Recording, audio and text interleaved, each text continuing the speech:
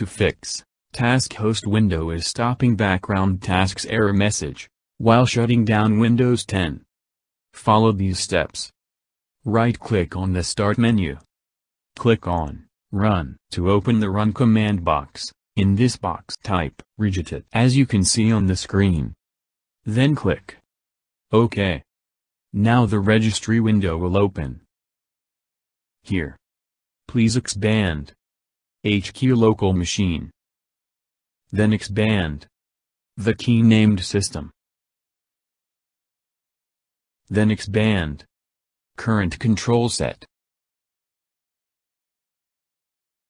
Then expand. Services. Now please locate WPN user service. After selecting WPN user service, go to right hand side and open the key named Start. Now, in this window, please set the value data as 4. Then click OK. Close these windows. Now restart your computer.